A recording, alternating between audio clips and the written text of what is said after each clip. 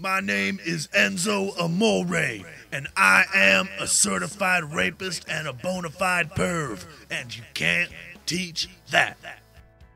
That's right, ladies and gentlemen. Enzo Amore has been fired from the WWE uh, this morning amidst allegations of a rape, not sexual assault, not tugging it in front of people that don't want you to, uh, straight up uh, tie you up rape. Very serious allegations. Uh, I think it's clear that WWE knew they were going to fire him before Raw 25, and they just, you know, wanted to wait till that passed to do it, and that's exactly what they did. Very first thing uh, this morning, the day after Raw 25, fired Enzo Amore. He's out. This is what happened. The, this woman uh, has been alleging on Twitter that she was raped by Enzo Amore in October of 2017. She's saying that she went to go hang out with him uh, in a hotel room with a few friends. Uh, the friends wanted her to give him oral sex. Uh, she, you know, was like, I don't know if, if we're cool if we hit it off, and they, she claims that they got her all messed up on alcohol and maybe some other stuff, and then intentionally left her alone with Enzo, knowing what was likely to happen.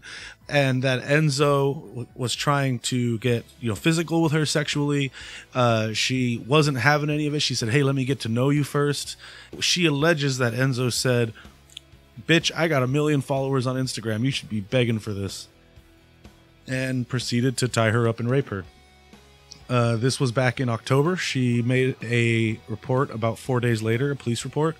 Uh, she claims you know that it's completely scarred her emotionally. She's been in a mental health facility, uh, you know, things of that nature. Uh, so when this news broke yesterday, WWE suspended Enzo, which is, you know, a standard procedure. You suspend him until you know something, and then, you know, once something comes out, you either fire him or, you know, reinstate him. Uh, that was Monday, and now Tuesday morning they've fired him. So they know something we don't know. And uh, I just want to give you my take on this. When I read the allegation, you know, you, it's all hearsay. We have no proof of anything.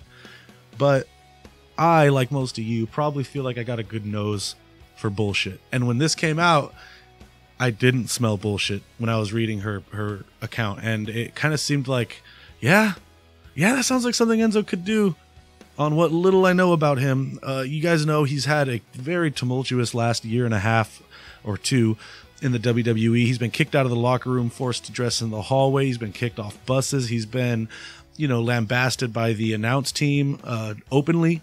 Uh, and you know, and Vince has to approve what the announce team is saying. So that if you hear Michael Cole or Corey Graves constantly bashing Enzo, that's you know, it might they might be standing behind that statement, but it's not always coming from them a lot of times it's coming from Vince, who is sitting at gorilla position, telling them what to say.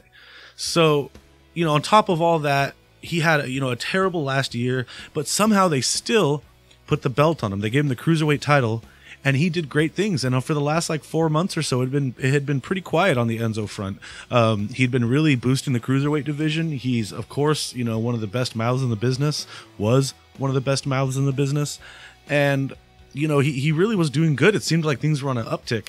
And, you know, when I read these allegations, I was sitting there and I told my wife, Enzo's done. I, I, I would bet money that by this time tomorrow he's going to be fired. And uh, sure enough, here we are. What's going to happen to the cruiserweight division? They've had such a rough year with Neville up and leaving.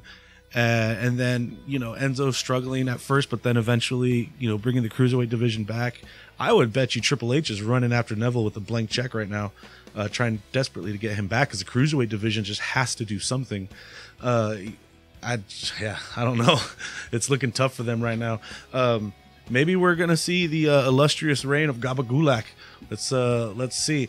You know, Rich Swann, another blight on the cruiserweight division, uh, got arrested for uh, assault and false imprisonment, kidnapping. You know, and I don't know if Big Cass is going to have any, you know, if this is going to affect his career when he comes back. He kind of he left on a uh, a storyline that had really nothing to do with Enzo, so I wouldn't be too shocked if it doesn't really affect him at all. Let us know what you think. Leave a comment. Follow us on Twitter over at Crossplay Pod. Thank you so much for joining me for this quick news blurb. We will see you guys soon with some more fantastic content.